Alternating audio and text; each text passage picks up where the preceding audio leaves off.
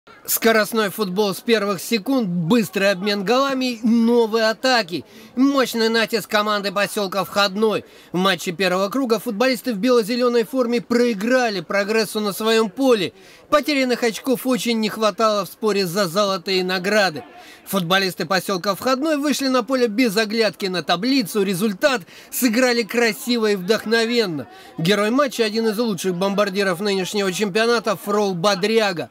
Форвард отлично взаимодействовал со своими партнерами. Футболисты Входной смяли защиту соперников. Выиграли первый тайм со счетом 5-1. Два мяча забил Бодряга. Вышли а, с хорошим настроем, не просто там победить, а просто получить удовольствие от игры в футбол. Ну так получилось, игра прошла хорошо, начали забивать, сначала сравняла, команда тоже хорошо играли, но потом начали забивать, атаки проходили, контратаки.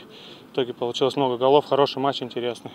Сражение в начале второго тайма. Футболисты команды поселка Входной сохранили боевой настрой и твердо решили забить столько, сколько смогут.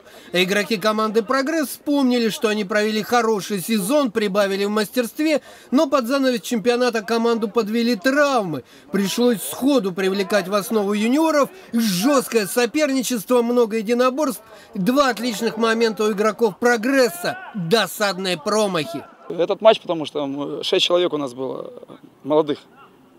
Дали им шанс, попробовали. Порыв прогресса, несколько напористых атак, разящий ответ футболистов входной. Отличная длинная передача Мурата Габбасова, рывок Бодряги, классный пас 6-1 и новый штурм входной. Отличный момент у Бодряги, игра на кураже и еще три точных удара на финише матча 9-1.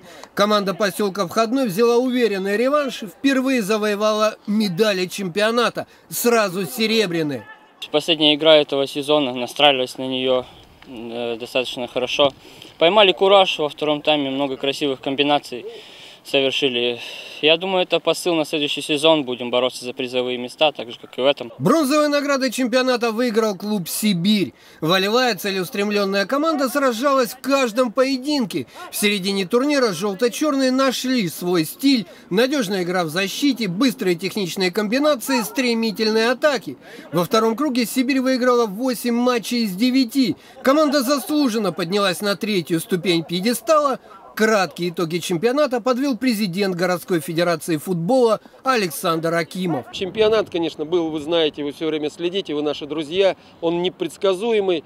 И в этом чемпионате могла последняя команда выиграть у первой. И могли быть непредсказуемые результаты у лидеров, э, как, например, Сибирь, которая э, во втором круге преобразилась. И у лидеров, э, у команд, которые претендуют на... Ну, вот можно уже сказать, что «Молния» заняла а первое место, получила золото. Но они обыграли «Молнию» на своем поле. И также обыграли входную. Летний сезон завершается, но впереди еще два интересных события. Финал Кубка Омска, он состоится на этом же стадионе «Молния» 22 сентября и Блиц турнир закрытия. Владимир Истомин, Юрий Дорошенко, Антенна 7.